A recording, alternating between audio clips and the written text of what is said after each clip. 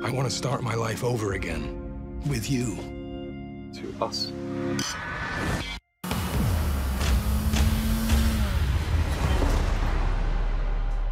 Is he a good guy? I don't know him all that well yet.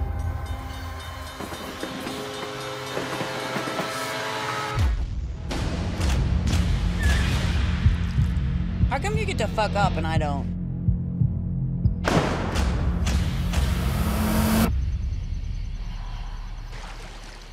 I think we're making a terrible mistake.